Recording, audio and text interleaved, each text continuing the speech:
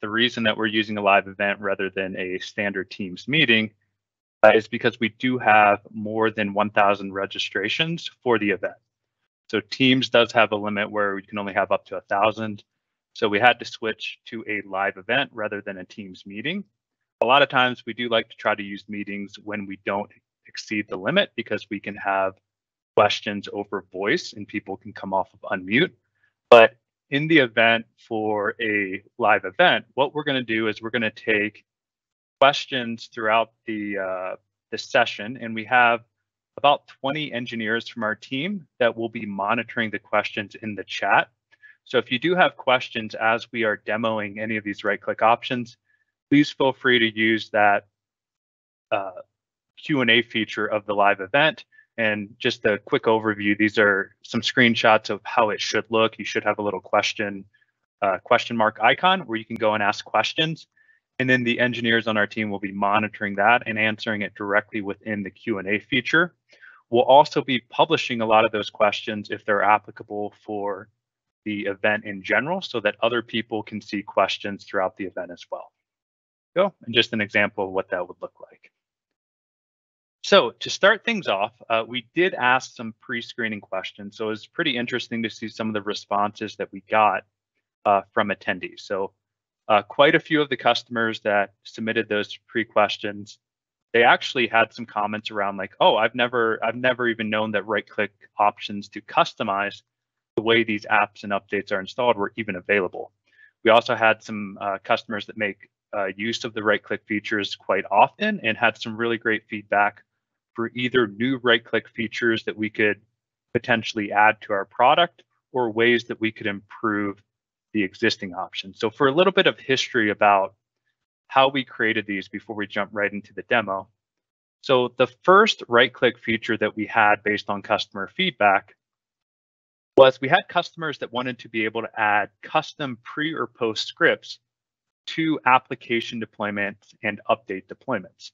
So what we did is in our publisher, which would be running on the server side, we created a feature for each product where you could right click, let's say Google Chrome, for example, and you could add custom pre or post scripts to do different type of actions that are specific to your company. So you could do things like run a PowerShell script that sets a home page. So on the client side, just because it initially started as the option to uh, execute custom pre and post scripts, the client side components of right clicks that you do that would affect the way that an app or update is applied is actually executed by a standalone executable called Patch My PC Script Runner.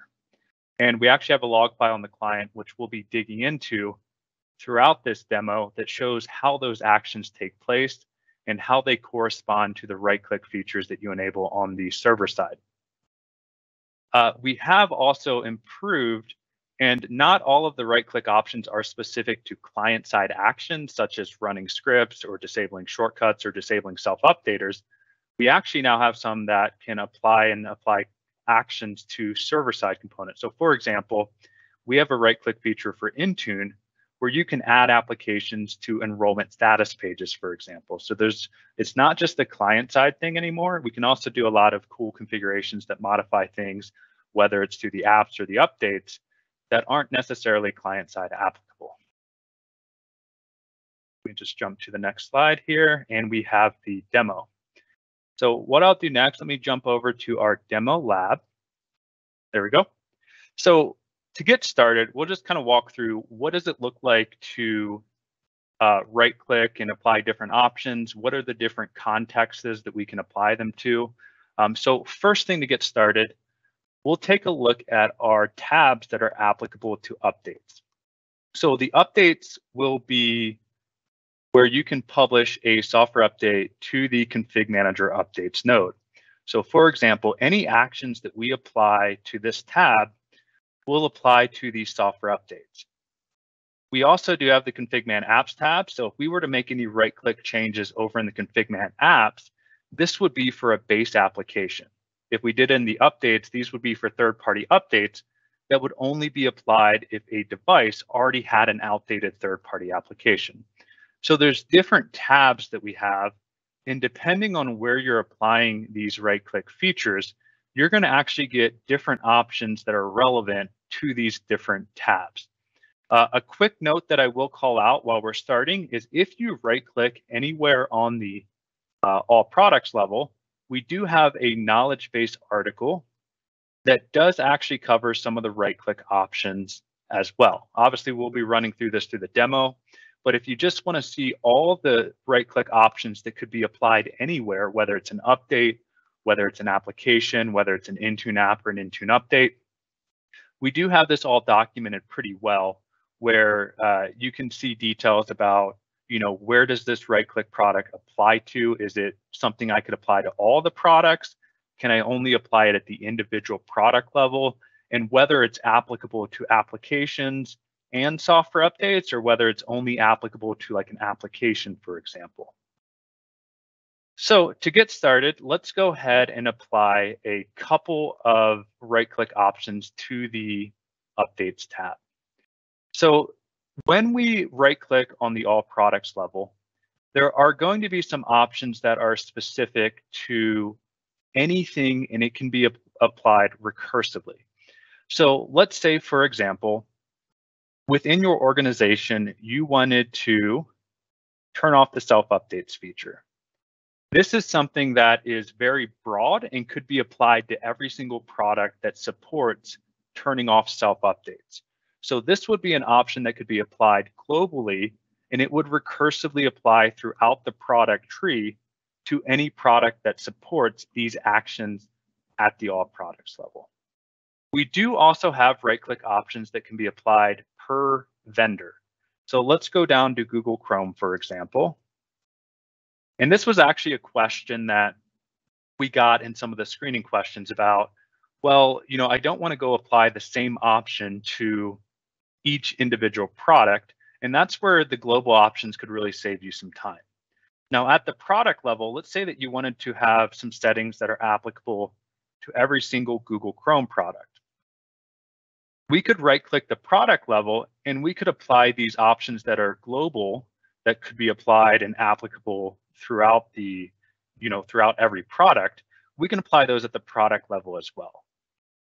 And then lastly, we can apply right click options at the individual product level. So for example, when we compare the, uh, the vendor level or the all products level to the individual product, we actually have three additional options that show up because these changes would be relevant for a specific product.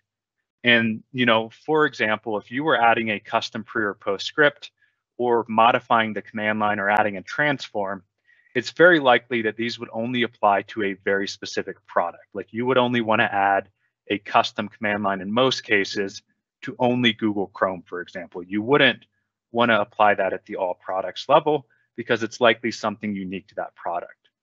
So that's the first thing to call out when we're reviewing how we can make customizations to the way that either an update gets applied or the way that an application gets applied. So that's step one is understanding there are going to be different levels that these can be applied to.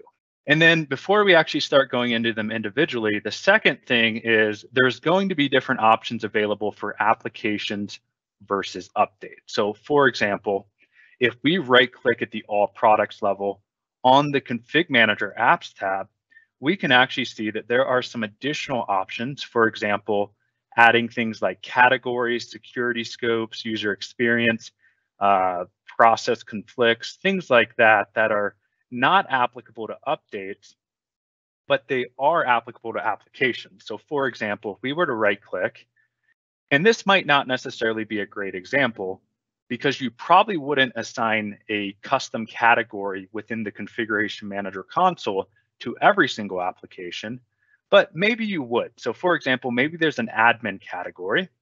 So if we go in and look at our applications in Config Manager, you do have the ability when you go and create an app to add custom categories.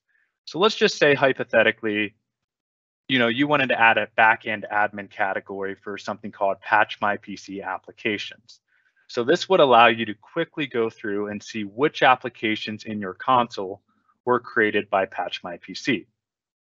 So that's just the the thing that I wanted to call out here is there are going to be different right click options available. So for example, if we jump over to Intune apps, we can see that there's a manage assignments feature and there's also a enrollment status page feature. So depending on where you are, you are going to get different options. So what we'll do now, we'll actually go through and, and walk through some of these as well. Uh, so Adam, do you want to talk about the manage installation logging? Yeah, absolutely. Um, I think this is a great one to set straight away, probably at the all products level. Um, it's an opportunity for you to choose a path on your devices where you want verbose install logs to be saved. And the checkbox there for enable verbose logging for MSI installations, that passes the verbose parameter to um, MSI exec. Um, so, you know, this can be really helpful for um, failures too. So if you ever uh, experience failed installs, like this can be a really good resource. Um, I don't know if I should mention the last checkbox there about the central location for the. Yeah, some customers use this. This is um. Some customers put a shared folder here, um, and they collect all failed install logs generated by directly by the exe or the msi to a central location so that you know they can easily grab them for support or do kind of some fancy custom graphing with it. Yeah so I, this one's available across all tabs and i think this is the first one that all customers should do right out the gate personally. Yeah, and I think that's a good point to call out, Adam, is uh, we can enable verbose logging if it's an MSI, but one thing to note, this is not just applicable for MSI-based installers. This can also apply to EXE-based installers. So we're able to do all the back-end work to understand, you know, for say Notepad++ or other EXE-based products, if they support logging, we'll go add all these switches for you in the background to save it here. So that's one we'll apply at the all products. Uh, disabling self-updater. So Jake, do you want to talk about this one here? Uh, yeah, uh, this one's pretty self-explanatory for the most part. Um, some applications, as I'm sure you're aware, you know, good old apps like Google Chrome and several others have a self-updater built into them. And for the ones that do allow you to disable that during the installation, we can pass in the command line to do so. You'll notice Justin has up on his screen that currently there are 145 products in the catalog that support this option, and the full list can be found down below. Awesome. Uh, another quick one would be the ability to delete public desktop icons. So in the event that you don't want to have a shortcut get created when an application or an update is installed or applied on the public desktop, meaning that if the user was a non-admin, they would not have the access to delete that. So things like say Google Chrome or some products that may put a public icon on the desktop, we can simply disable that and we'll automatically delete that shortcut post installation if it's an app or post update if it's an update and that shortcut appears on the all users desktop. Uh, the only other thing that we'll talk about, actually there might be a couple more, but we're gonna leave the manage conflicting processes for a individual product. But when you're applying uh, the right clicks to the updates, we do have the ability to either publish the updates with full content or metadata only. So what that means is if you use full content for any product that you've checked and enabled, it will actually download the binary, the full binary from the vendor. So in the case of Google Chrome, for example, it would go out to Google and it would download about a 70 meg MSI installer.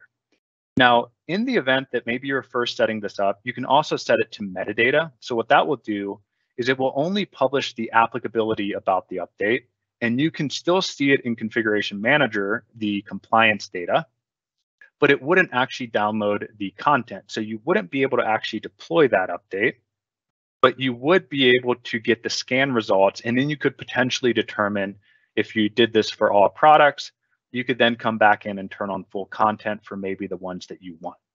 Now, we do also have a feature that uh, kind of can replace that where you don't have to publish everything to kind of get the stats. You can use our scan tool, and this will actually evaluate the hardware inventory in your environment.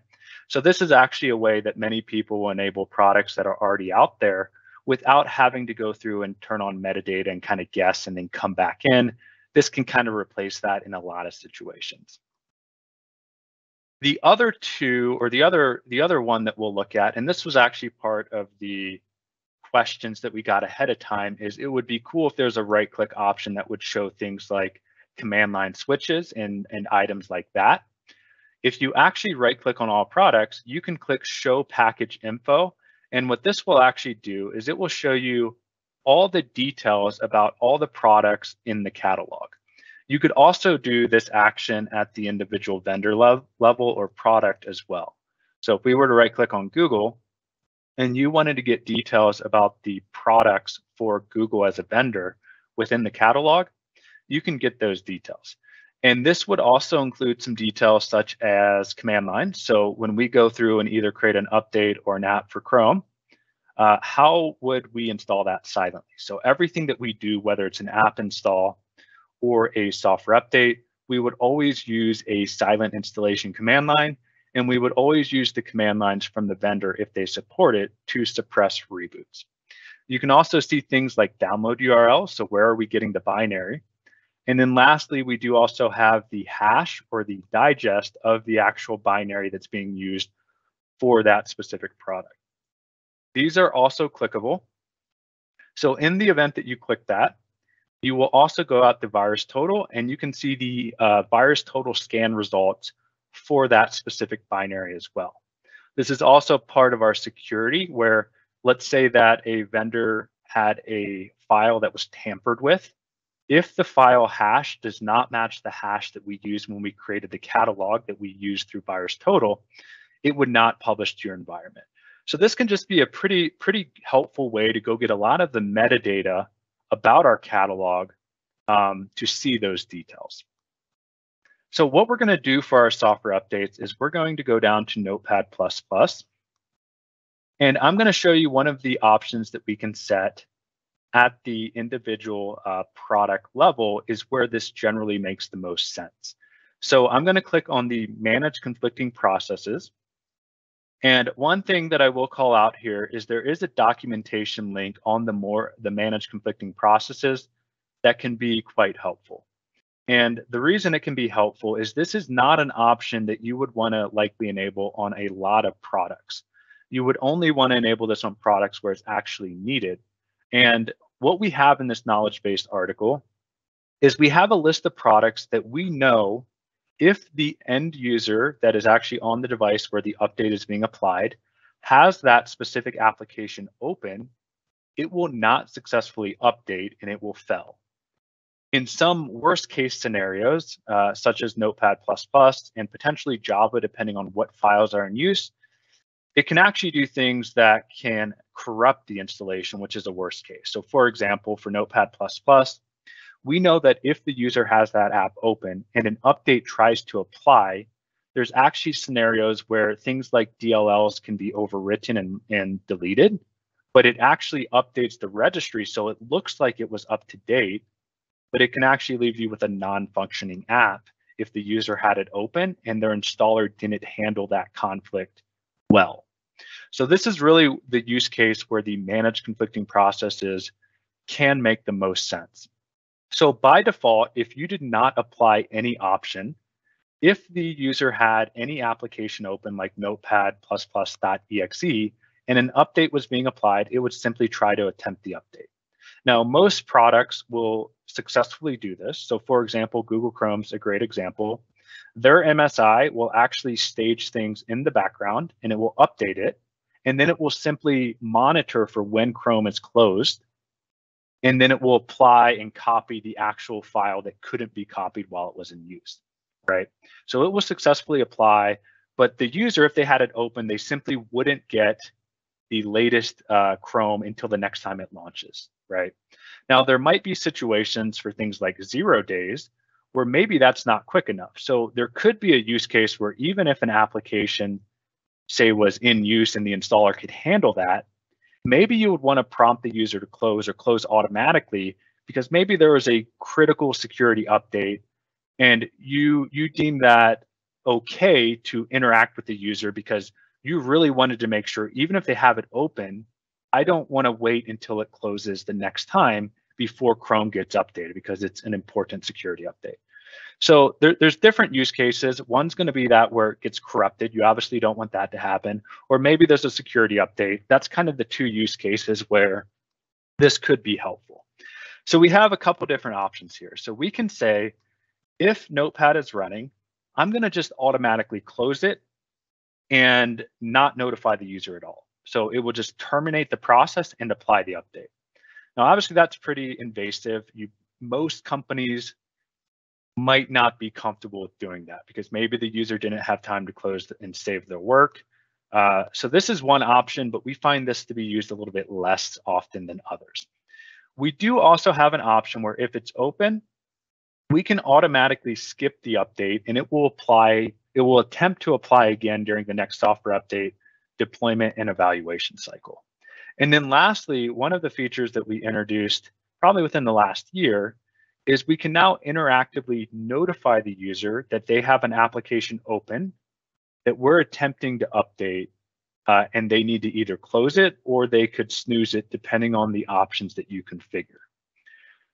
So what we're going to choose is we're going to allow the pop-up to last as long as the maximum runtime within Configuration Manager for the software update. So this is 60 minutes by default. The reason that we can't extend beyond the max runtime is it will hold up any any updates that would be applying after this gets shown and popped up to the user.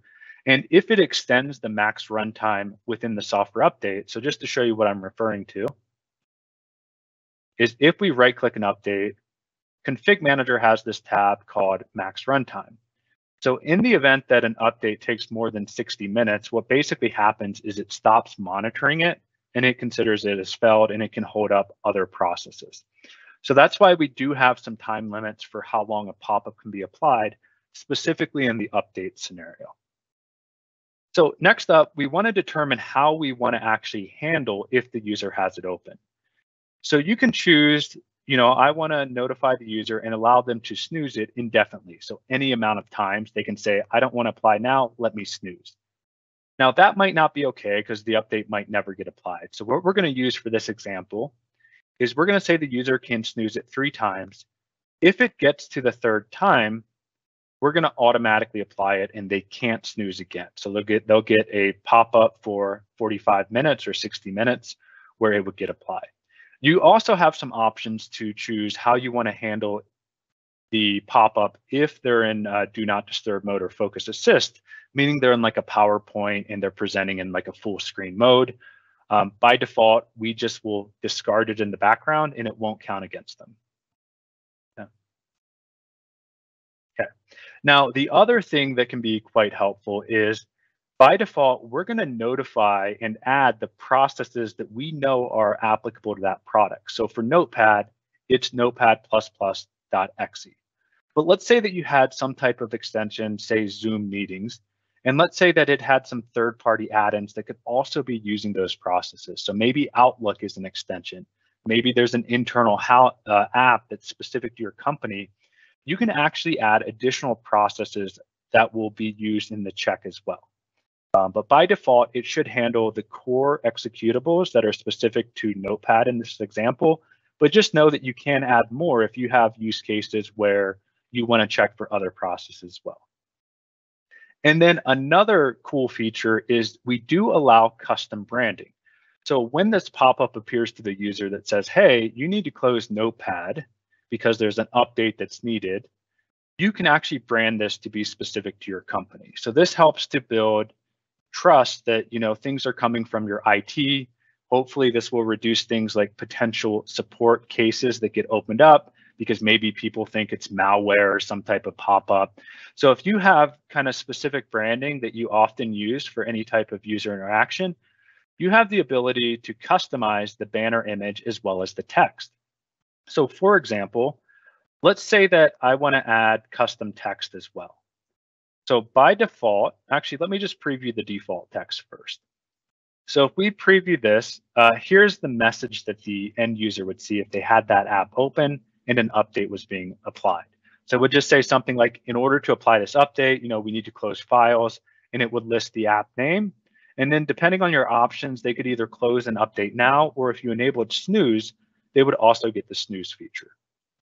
Now, if you wanted to really customize this message, you can actually go through and you can apply different languages and customize the message for each of those.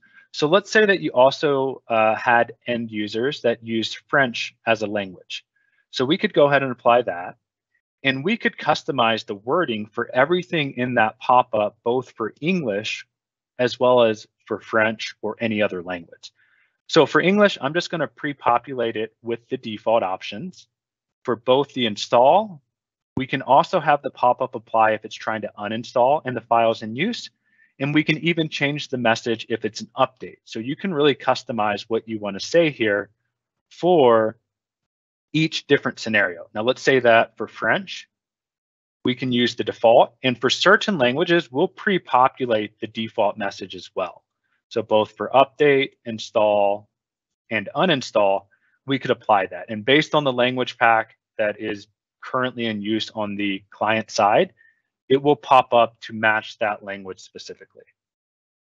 So we'll go ahead and do OK on this. And then uh, we'll come back in. So if you did want to have a custom banner image where it was unique to your company, you could go in and set various different image types. So let's just say you wanted to use a different image here. So you could go through and apply an image with your branding, your logo, uh, to really set how we want to use it. For this one, we'll just use the default here and click OK. And then OK on here and then apply. Alrighty, so that's going to be the manage conflicting processes, and we enable that for Notepad. So what we'll see on the client side, once we jump to the client side actions, we'll actually see what that looks like when it's being applied um, on the client device. So just to kick things off, what I'm going to do on the back end is I'm going to run a synchronization, which will just get that update publishing. Um, so what we'll do now is that that's really most of the actions that would be applicable to the software updates right-click features. We're going to jump over to the Config Manager Apps feature. So let's come back through and let's go here. And so some of these we won't touch on if we've already covered them for the apps, or sorry, for the updates. But Jordan, would you want to cover the managed security scopes? Sure. So one of the things that you can that you can do that we've added in here is the ability to tag security scopes specifically to an application. So inside of Configuration Manager uh, and Intune as well, actually, you can create different types of security scope to restrict what applications should or shouldn't be available within the console to specific groupings of, of administrators in the environment. Using this, you would then be able to say that because this particular administrator, maybe they're server admins in the case that we're building out here, um, they're allowed to see these specific apps. Um, and so they should be able to see them, have access to them, and do whatever they would like to do with them. And then maybe we have some desktop admins here. And we could then tag those scopes and attach those scopes to those specific applications. And in this case, only the server admins or only the desktop admins would be able to see those specific applications once they were published into the console. So for here, if we did FileZilla server, we could say, well, since that's for server, maybe we only want server admins to be able to see that app and deploy it. And for the client, we could actually set it so that the desktop admins tag would only be applied to it, and then only people who had the desktop admin scope attached would be able to actually see and manage it, plus the default users in the entirety of the environment. All right, thanks, Jordan. So what we'll do, we'll jump over to 7-Zip, and this will actually be an application that we enable and we actually run through Config Manager and through that console, and we'll actually publish this one. Uh, manage uh, command line. Uh, Cody, would you want to talk about the managed command line? And yeah. I know this was also one that came up in the pre-screening questions about it would be awesome to be able to modify command line. So this is actually one that mm -hmm. you know some people may not have known about. Yeah, so with modify command line, the way this works, we, we do provide a default set of parameters. Uh, generally speaking, the parameters we provide are strictly for silent installs and suppressing reboots. Uh, so if you want to append additional arguments, you can come in here and provide those additional arguments. Uh, there is also a special variable at the bottom, which can be useful, percent current dir percent. A common use case there is if an application requires a parameter, maybe like an INI file, you could do you know slash config equals percent current dir percent slash config.ini or something similar. Uh, I know an ask is out there to override our default command lines. It's not currently something we support, but it has come up somewhat frequently. Um, but yeah, I mean, this gets used a lot. I think it's probably one of our more commonly used right-click options, honestly. Awesome, thank you.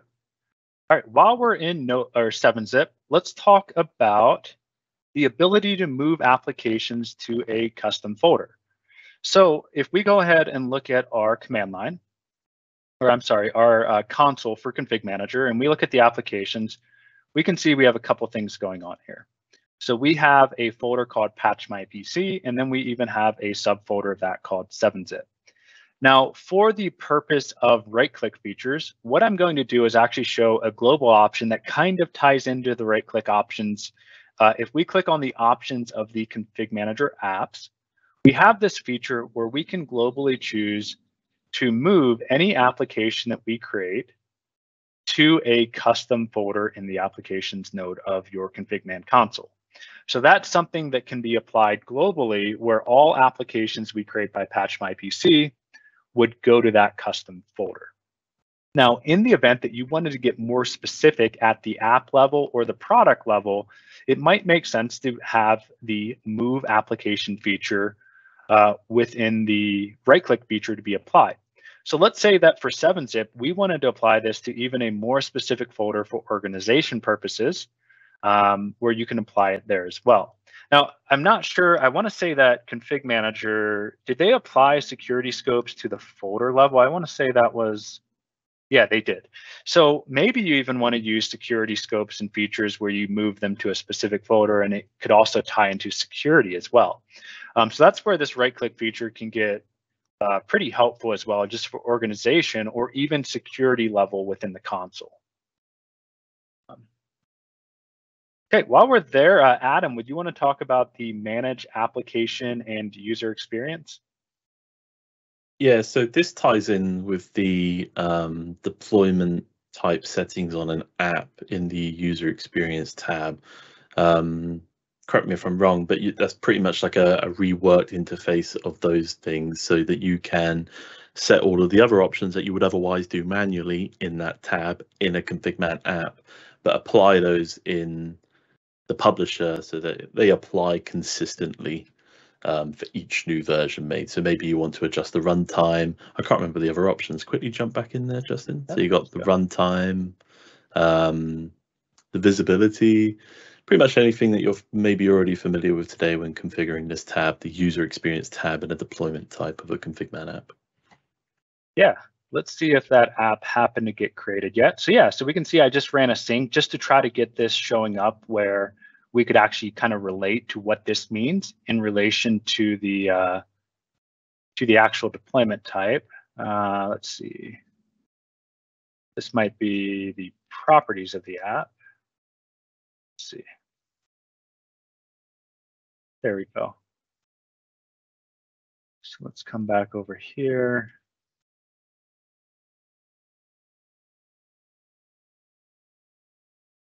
No, that's not it. It is the deployment type, right? That's, did I just miss that? Yeah, no, it's user experience on the deployment type. There we go. Cool.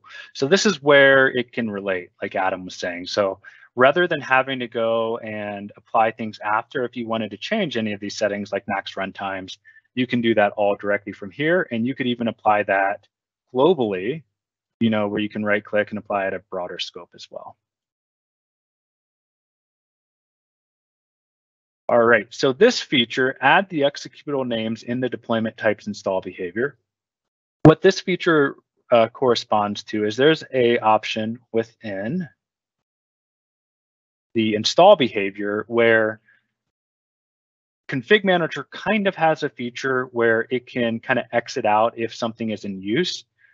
Um, similar to the way that we do the manage conflicting process, but it's a lot less feature rich and it basically just will not allow it to apply or be closed without any interaction. So it's kind of similar, but we do give you the ability where you can set this and we'll automatically populate the executable name uh, as well as the uh, the friendly name of that specific product for you, where you don't have to do that manually. Okay, uh, so set custom application icon and properties. Uh, Andrew, would you want to talk about this one? Sure. Um, I'm responsible for most of the icons and properties, so you guys should never need to change them.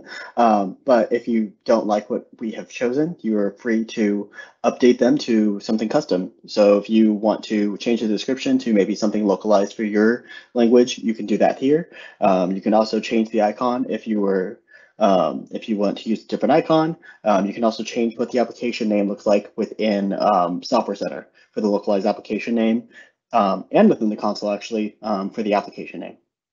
Yeah, awesome. Cool. Alrighty. The, the view, do you want to cover the transform here? Sure. So if you have a transformation file that you would like to apply to the MSI um, installer, um, if you already have a built one, you can always um, just select it there. You only need to do it once. Um, and that's it. Patch My PC will continuously use that MST file with each new version of that application. Um, two things to keep in mind here. This option, of course, won't be available to EXEs um, because we cannot apply MSTs to EMS, EXEs. And then the second one, to think, the second thing to keep in mind is if the vendor, for some reason, changes some property tables um, or adds something new that doesn't exist in your MST file, then of course the installation will likely fail. So keep in mind that um, we recommend to check the MST from time to time against newer releases as well. One thing I like to mention with this option, uh, if you specify an MST file here or a CAB file, uh, you do not need to go add it as an additional file. Uh, we sometimes see customers add an MST file here, and then they go edit their command line add the parameter for MST, and then they go add an additional file. So you end up with two references to the same thing, and it can kind of cause some issues. So if you use MST, use this option. You don't have to do anything else, just edit it here. Yeah, good call out. Alrighty, so let's go back to the right clicks. And what we'll do, let's jump over to Google Chrome. And we're going to enable Google Chrome 64-bit as an app. And what we're looking at here is the feature to manage, or uh, sorry, command lines. No, we want the scripts. There we go. So this one we'll look at for Google Chrome is the manage installation scripts or uninstallation scripts. So this is actually where the right click features, the initial option that we offered was actually the ability to execute a script pre or post update or application install. So for Google Chrome, we're, we're currently in the apps tab. So what we're going to do, we're going to say if Chrome was ever deployed as an application, we want to set a custom PostScript and we're going to have it set the Google Chrome homepage. So what we have is we have a PowerShell script and it's basically just setting a couple of registry values that set the Google Chrome homepage uh, values that are specific to the startup page, the actual page it starts up on, and new tab. Uh, and what it's going to do is just set it to patchmypc.com. So we're going to have that run post application install so that anytime uh, Chrome is installed for the first time, we could also apply this for update. So if Chrome was updated, it could also verify the home page is standard. Uh, it would apply. So uh, Cody, I know that you know quite a bit about additional files and folders. Do you want to mention some items here? Yeah, for sure. So uh, this is another really popular one, uh, and we're actually building out some additional features that I'll mention too. But with this option, you know, you've got prescripts, you've got postscripts, additional files, additional folders. The way this actually works, when you specify something in here, um, regardless of where it ends up coming from, we add it to the content of the package. So we commonly have a, a Google Chrome homepage script that we add. Um, we, we just store it on the server or some share, doesn't really matter where. Uh, when you add that as an additional file and then we package up that application or that update, that content gets copied into the package and then the client downloads the content and that's where it actually gets put in. So your clients don't need access to demo one sources, scripts, example.ini. It ends up as part of the content for the actual product. Uh, and we support this on both install and uninstall. Maybe you need to do some additional cleanup or something during an uninstall. That's an option. We've got more flexibility otherwise with some of our checkboxes. Now I know a common request has been, I want to pass arguments to my scripts, vendor, product, version, something like that.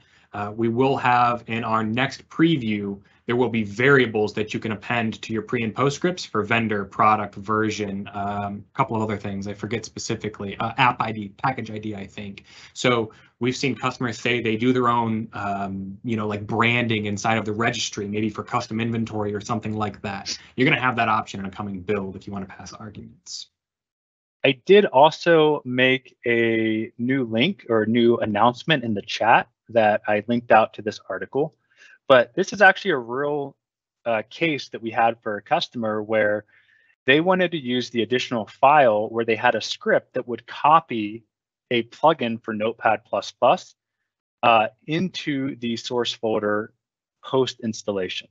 So basically there was a zip file that contained the plugin and there was simply a script that would extract that, that zip uh, into the plugins directory of Notepad++. So this is a real kind of example of maybe there's some extensions or really any type of customization that require additional files or customizations uh, and a real use case of where this could be quite helpful. Uh, before we jump to another one, let me just go back into our sync schedule and let me just publish this so we can get these apps publishing in the background. Go. Alrighty, uh, featured app, so there's not a whole lot here. Um, basically what the setting as a featured app will do is within the properties of the application in config manager, it will check this box that would simply show it at the top of the list within company portal or software center whenever uh, that application is published. So it would be the first in the list if you make your deployments available to users where they would see that featured application first. Okay, so exclude from auto publishing. Uh, ben, do you want to talk about this one? Yeah, sure. Um, so I love the auto publishing feature. So we can look at the inventory coming back from your devices. And if we see a number of devices with a specific piece of software installed and we support it, we can automatically enable that application for publishing, which is really cool. Now, if there are some applications that we support in the catalog that use explicitly do not want to enable, we can use the right click option to exclude it from auto publishing. Um, that will visibly put a cross through the application and we will not enable the application if we find it and you have auto publishing enabled. And we can apply that at both the vendor level and the individual app level as well. Awesome. Yeah, thanks, Ben. Alrighty, uh, Cody, do you want to cover the republish? I know this is a feature that you've done some work on. Yeah, yeah, for sure. Uh, and this actually relates to some of the questions we had in the spreadsheet, and I think I've seen it come up in the chat a little bit. Uh, so we now have the option to republish across all four tabs, you know, updates, config man, and then the two Intune tabs. So how republish works is a little different across each tab. Uh, the main use case for a republish is if content changes. So uh, for ConfigMan, it has a little bit less use, right? With ConfigMan, because we can read and write to that content source on the fly, you almost never need to republish. We just always keep that content up to date and we'll just update content, you know, on the DPs. So that's not a big deal. You might use republish for ConfigMan if we reach out to you and say, hey, you know, you're experiencing a bug with script runner, republish, we'll copy paste in the latest script runner. But aside from that, uh, it's going to get more use on your updates tabs and your Intune tabs. So if a if a change, a right click option changes, maybe you add a pre-post script, maybe you added a transform file, um, something like that, you would need to republish, or maybe you change the logo or something. Uh, now, I will say we are working to improve this. We've got uh, some dev work going on to prompt you to republish if you make a change that warrants republishing because I know it's not immediately obvious. Like, you know, to us, we say, well, content change, republish. We understand that's not necessarily obvious on the customer side, so we are working on improving that. But that's the use cases. It boils down to content changes. Yeah, thank you for that. Uh, let me just also do Chrome as an update really quick and get that syncing in the background. Okay, so back to the ConfigMan apps. I think that's most of the right clicks that are, okay, so actually let's do, this is actually a really good one. So there's this option for managing application update and retention. So if we look at the global options for the applications, we have this option where we can say, how do we want to update an application when a new version comes out? So for example, let's say a application was created for Google Chrome. Let's just say version 89. Uh, what do you want to happen with that application that was created when version 90 comes out? So for example, if I go look at my console, let's just do a quick refresh here. We can see that we have Google Chrome 105 that got created when I ran that synchronization. So how would you want to handle when Google Chrome 106 comes out, for example? So these are the global options that would be applicable for every application that you've enabled. So the default behavior is we would say we want to update Google Chrome in place. So that means that that exact version of Chrome, that, that exact application, if I go ahead and show the unique ID, we would say that we've detected we already had version 105 created by Patch My PC. And the default behavior is we're going to actually just update this existing unique ID and replace it with everything for Google Chrome 106. So we would come in and we would go to the deployment type. We would update the content. So we would download the latest MSI. We would change the metadata versions and we would update the content and refresh that on the distribution points. We would also update the detection method to check for version 106 and newer uh, for that as well. Um, so one thing to call out though is the retention options also apply for this whether you're updating in place or whether you're creating a new application for each new version. Um, either option, you can choose to retain a certain number. So a, a helpful use case is, let's say that we did choose the update in place, you could also choose to duplicate and retain three older versions as well. So even though that even though the default application will continue to be updated and always be at the latest so that if you're using task sequence or deployments, you're always deploying the latest version, we would save and duplicate any previous versions up to three versions where it would be saved as another application that's different. So in the event that let's say you went from Google Chrome 105 to 106 to 107 to 108, and let's say version 108 broke something, you could potentially revert back to the three previous versions if you had the retention option turned on. So that's how it can be applied at the global level. And let's say that you did not, uh, uh, yeah, let's just keep three retention and updating in place. But let's say that you had Java, and let's say Java was a little bit more scary for you. You know, you weren't sure if you were to update in place, whether that could break existing installations and you wanted to have a lot more control over that. You can overwrite that global option at the individual product level.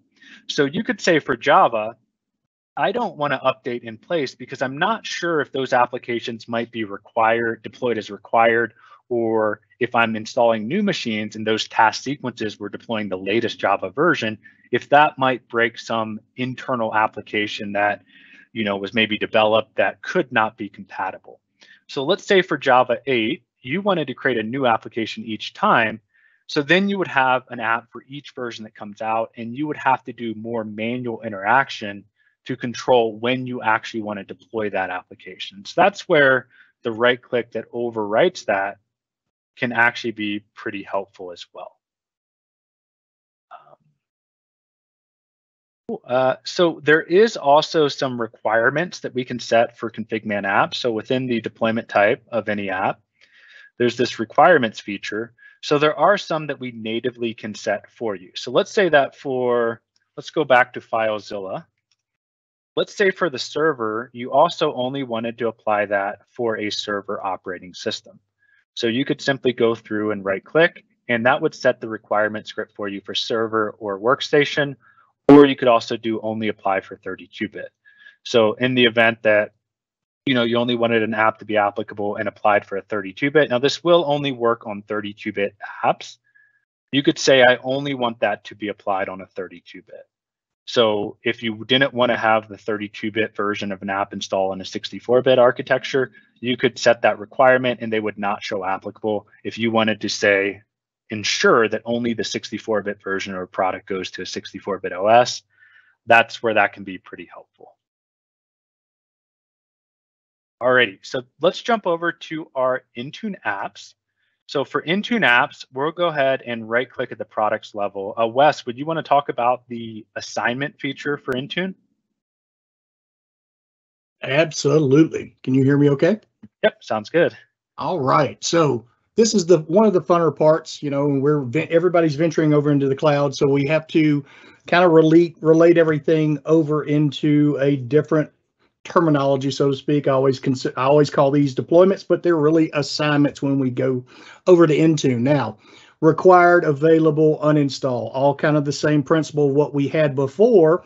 But if we wanted to push something out directly to a group of machines, we would set it as a required. If we wanted to make it available in the company portal, we can do that as available. So we're going to go in here. We're going to make some assignments for this application to be available in company portal. We can pick all users, but what if we want to do rings? We could do that as well. We can go ahead and set up those rings. We could pick the three top groups there. We could even go so far as create another assignment. Let's take this a little bit closer to the config manager side of things. Go back into the add assignment there for me, Justin and then pick HR and let's pick sales. I'll do what I normally go through. We'll pick those guys. And from in here, we can take it a little bit further. We can scroll down. If we set those rings, we can go and say, we don't want to mess with the HR team. Of course, we don't want to. We want to exclude them from any of the assignment. And then we want to go ahead and say, well, sales team, they have a mixed bag of machines. Well, we're going to take something else and i'm kind of jumping ahead of here a little bit but we can filter. We're using the assignment filters within intune. So we can turn on and we could exclude things that are found in the filter and when you pick the filter that you've selected you go in there and hit where it says uh, say hit exclude for there. You can pick whichever type of machine that you don't want to include in that. So you could find the dell machines and then you could you could have some limiting type collections like we're used to seeing in the config manager world bringing it over into intune and using that filter option to kind of have that same feel that you have over there. So you could still push it out to a very large group but then limit who you're going to send it to. So very helpful. We can also limit when it gets pushed out or when it's available by clicking on the name there picking the how many days out. Now this is a little different when we when we step over to the manage uh, the Intune uh, from our cloud icon, but we can show how many days out from when that application is available uh, and has been published in there. So really helpful tools in there as well. So a number of things that we can click through there uh, and really get it to where we can fine tune how we want to do this in your environment. Yeah, awesome. Yeah, thanks, Wes. For the purpose of the demo, we'll just make it available for all users though, and just so that we can see some applications get applied via Intune. So let me just go ahead and right click on 7-zip and we'll turn on a couple of those features that we already had looked at for some of the other right clicks as well. Um, so let's just do logging. Let's do disabling. Yeah, let's just do logging for this one. That should be good. And what I'm going to do before we look at some other ones, I'm just going to run a synchronization just so that we could see the Intune app get created once we're ready to jump over to the client side. Um, so let's go back to all products. And uh, Jake, would you be interested in covering the enrollment status page feature? Yeah, absolutely. Um, so we have we give you the ability to manage your enrollment status pages. If you're unfamiliar with what an enrollment status page is, it's a place where you can configure what exactly happens during the autopilot process. And in that particular section, there is an option where you can configure what are called blocking applications, which allow you to force certain applications to install before a user ever actually gets to their desktop. Um, super useful for things like Office, security tools, different things like that. But we do give you the ability to uh, have full access to change all of those. That's going to be under devices, Justin, um, and then Windows, and then Windows enrollment. There we go. Probably pull up the default one or any of them, honestly. Yeah, let's look at company wide. And then if we pop into properties and we scroll down a little bit, we might have to actually edit our settings here. Yep, because we don't currently have it configured. But if we edit our settings and scroll all the way down to the bottom, there's an option where you can block device use until required apps are installed. We'll we'll select that to selected by default, um, and we can select whatever apps we have listed. So we can update this list for you. Now, previously, uh, as far as ESP is concerned, the apps kind of came down in a random order regardless of what you set there. But recently that has changed. So now if you actually have your application set there, those are the first ones that'll ever attempt to do the installation during your autopilot scenario. And then all your other applications will come down after the user is at the desktop. Awesome. Thank you, Jake. So what we did is since we applied that on the all products level, I went ahead and enabled Notepad++. So once that gets sent to Intune, it should also apply to our enrollment status page. So once we jump over here in a little bit, we might be able to dig into that a little more if we have enough time. Alrighty, so for categories, let's say that we wanted to go back to that 7-zip application that we created. We do also have the ability, like Config Manager, where you can configure categories within Intune. So within Company Portal, uh, users have the ability to go through and kind of filter and select available apps through categories as well. So let's say that we wanted to give the 7-zip the file archiver category. We could do that. Let's say for Notepad++, which we enabled. Uh, maybe we want to come in here and let's add that under the development and design. So we could add that there as well. Um, let's go back.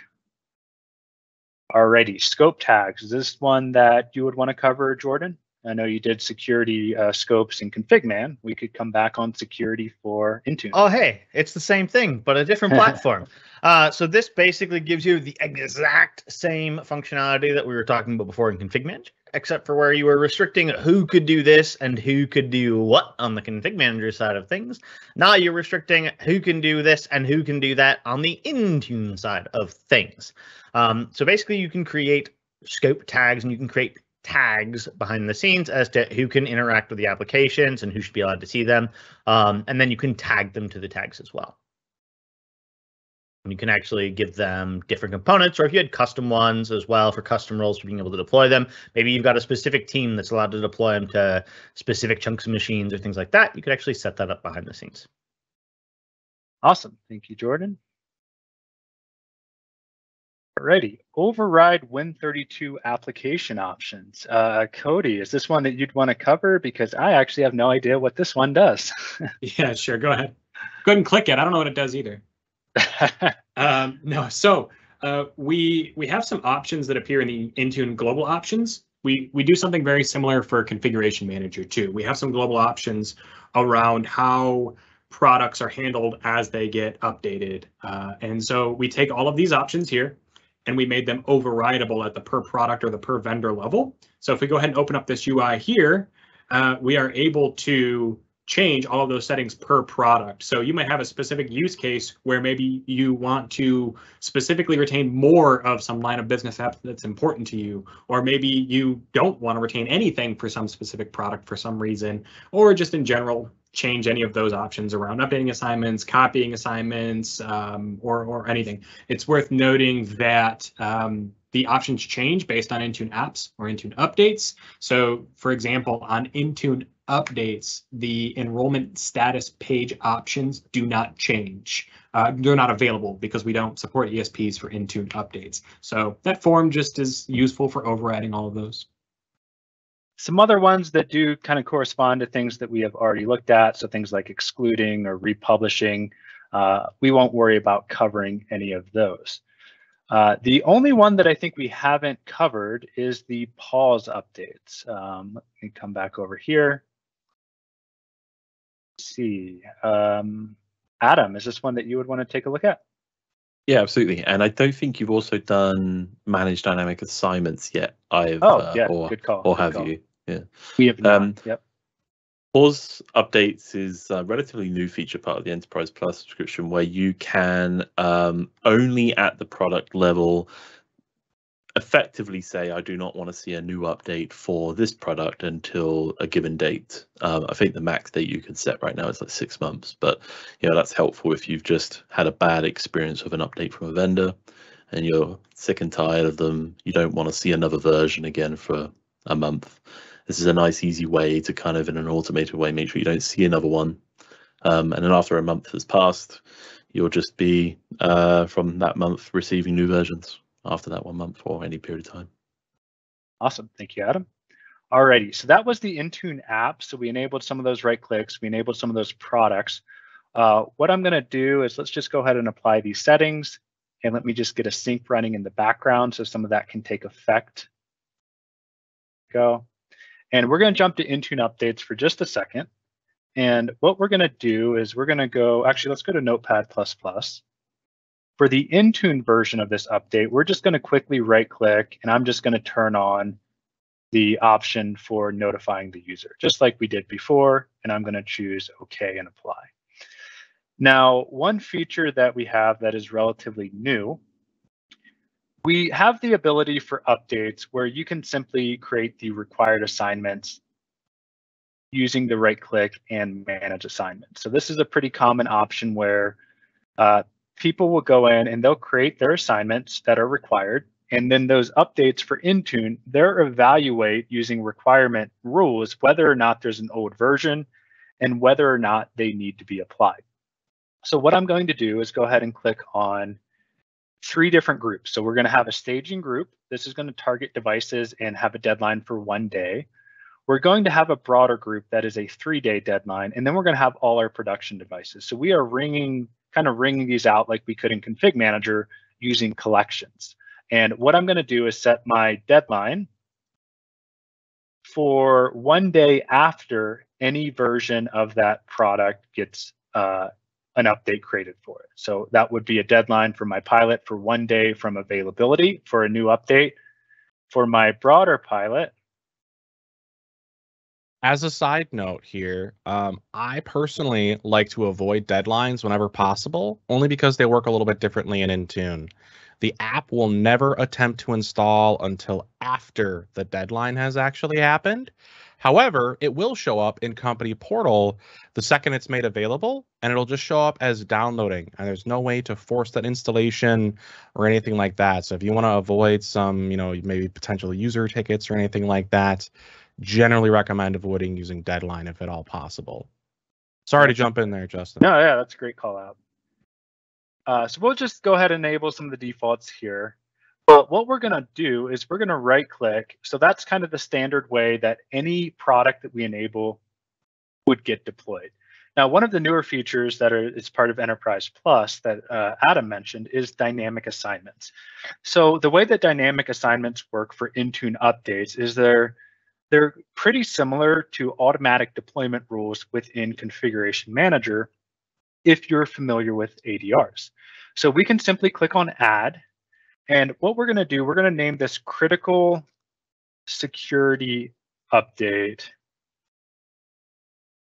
And there's filters that we can apply that says if an update, regardless of whether it's selected, has a CVE, we want to make sure that we publish that. And what we're going to do here is for the assignment is we're going to say if it's a critical update, we're going to want to apply this for all our users. So I'm just going to go ahead and select all users. Actually, let me do all devices. Okay, all devices here. It's kind of funny. It's a little bit laggy here for my RDP connection. Let's go here. And we're going to keep the deadline as soon as possible because this is a critical security update. And we want to make sure that that gets applied right away. So let me click OK on that. There we go. Let me manage. Yep. So that assignment is all set. Now we also have this feature. Let me click OK and come back in here and click preview. Let's see if our preview shows up here. So we can see that for the products that we've currently enabled, Notepad for the updates, we can see this one did actually meet the criteria because there was a CVE within the metadata of the update. So if we run a synchronization and there's updates that have security fixes, so actually let me go, let me go turn on Google Chrome as well, because Google Chrome typically will have CVEs.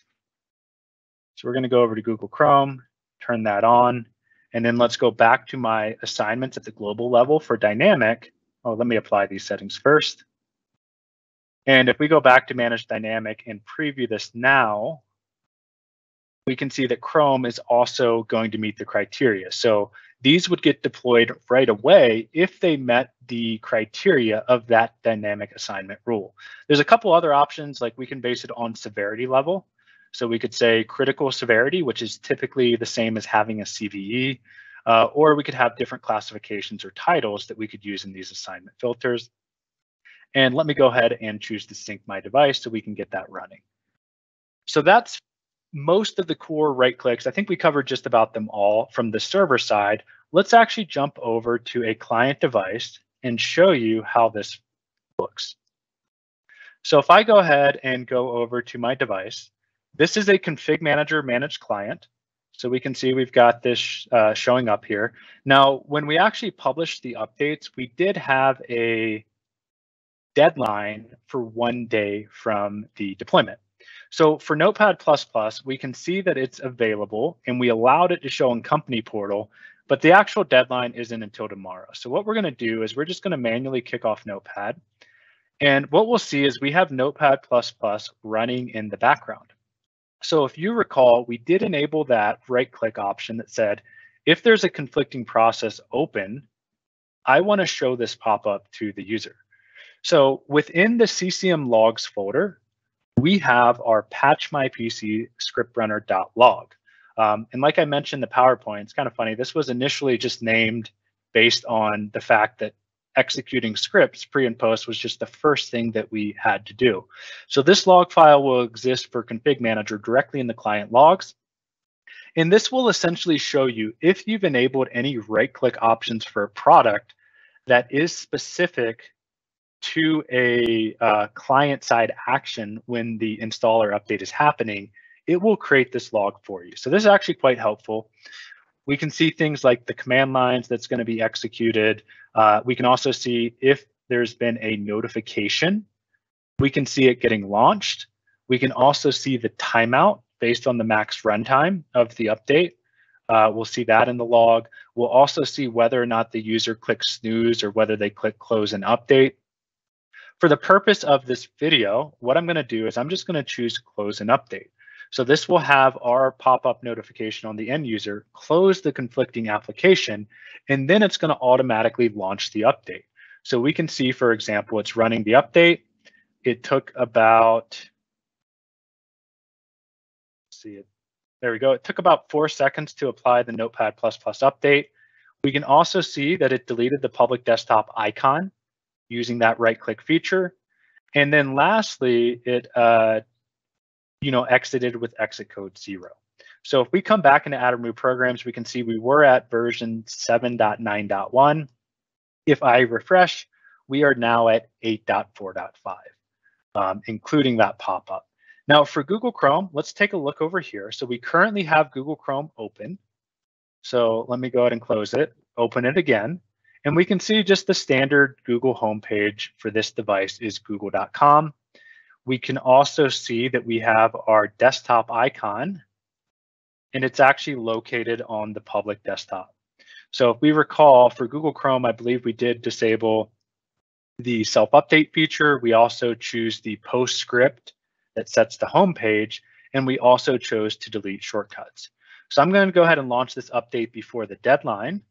We will take a look at the script runner log we can see that we're now ex executing the MSI. And we can see it automatically added the logging for Google Chrome's MSI. For the default log folder that we chose in the right click option, it's in a subfolder called patch my PC install logs. And then this is actually the verbose installation log for Google Chrome's MSI. So this, this feature can be quite helpful if an update or an app is failing, that you actually can look at the vendor's log to understand why it's failing. So typically what config manager will report back or Intune if it fails is often a generic 1603 exit code that just means fatal error. This isn't really something that's that's super helpful, especially if we're trying to support and help you detect why it failed. And this is where having logging enabled, even globally, actually globally, I would say is typically what we would recommend. Um, because if it's if a product supports a log, it makes sense to have that, and it will automatically purge after 28 days from this folder. But it will just ensure if an update or an app fails, we at least have some data to help you or for you to help yourself to go and analyze why the vendor's installer actually didn't um, so what we can see after the update was applied with exit code zero, it then went through, it detected there was a public icon, it deleted that. For Google Chrome, where we disabled self-updates, it actually set three different registry values within the Chrome policy key. So it automatically turned off updates for you. You didn't have to go research or do anything there. Then lastly, we executed that Google Chrome homepage PowerShell script one thing I don't think I mentioned is the file types that you can execute pre or post script. We can do PowerShell VB script batch file, and we can even execute an exe or a MSI using the pre or post action as well. Um, so we can see that ran and the script and the MSI both exited successfully with exit code zero. So if I go back to my desktop, we can see the Chrome icon is now deleted.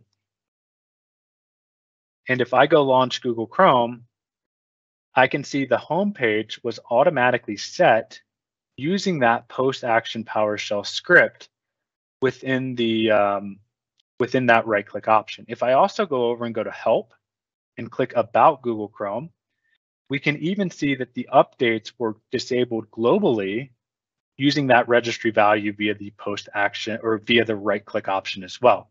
Um, so just an example for Chrome, where you can actually see from the end user side that the updates were turned off from an admin level and it couldn't be edited by your users. So that's the two different features that we did uh, for the updates.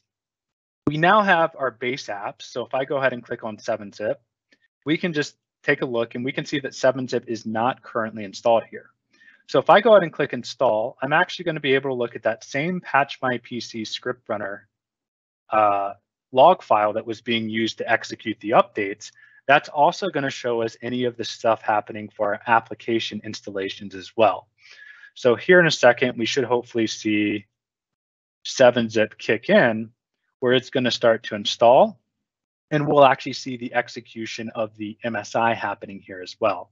So for example, we can see that base installation, we can see it running the MSI, all the command lines, and we can also see since we had the right click option for logging, we now have the installation log for the MSI as well. Um, so this will work both for updates as well as for the initial installation using the applications. So that looks good. And I think that's a good part of the client side. So let me actually see if we have our Intune client and whether or not that is actually up and running. Sometimes the Intune client can take a little longer for policy to kick in. See if we've got that yet. All right, so we do have some stuff showing up here. So we can see we have some apps for Notepad and 7-Zip showing up. Let's just take a quick look and see if we launch this.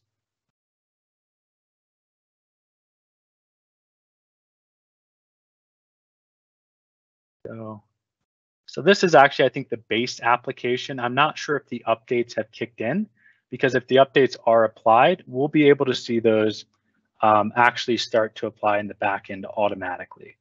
Um, so we'll we'll let that kick in a few a few minutes because that can take some time for policy to kick in. But I believe for the most part, that should cover pretty much all the right click options that we were looking to cover today. Um, so let me just jump back to the PowerPoint.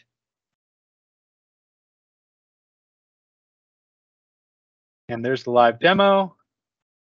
And uh, yeah, I think that that's actually going to cover everything we had. Now, for the for the engineers that were monitoring our Q&A, uh, do we feel like there's maybe any questions applicable that might be helpful to share that maybe came up a lot that we could call out? Uh, one that's kind of come up, and I don't, we may have mentioned it very early on. Yes, this is recorded. Yes, it will be on our YouTube.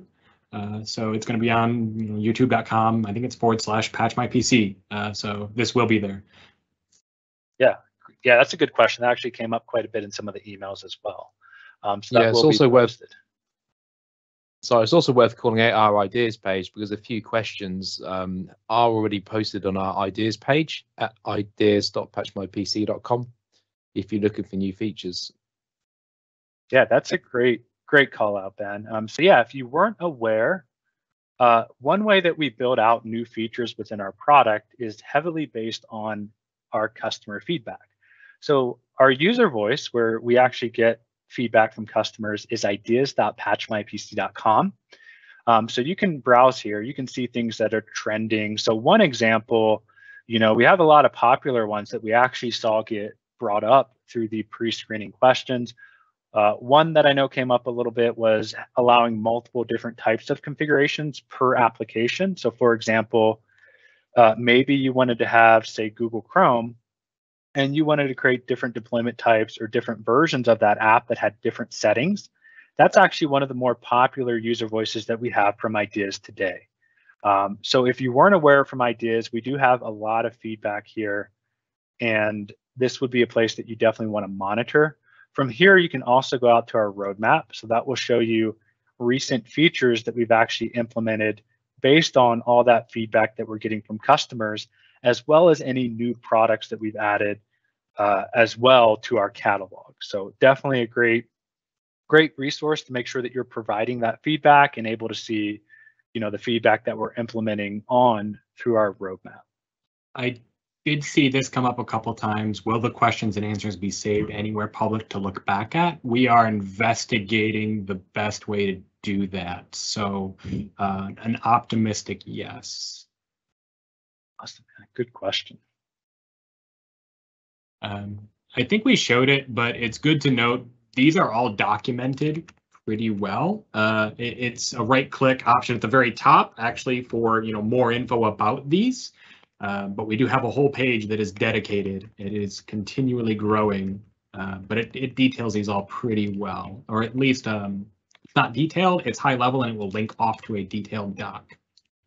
Cool. Well, I think that we're at a good point now to wrap up. So just want to say thank you for attending. This was actually the largest webinar by far that we've ever had. So we had over 1,500 customers uh, register for this webinar. So just want to thank you all.